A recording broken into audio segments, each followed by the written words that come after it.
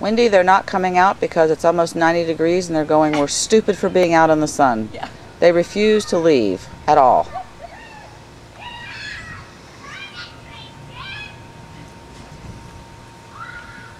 this cold floor feels so much better.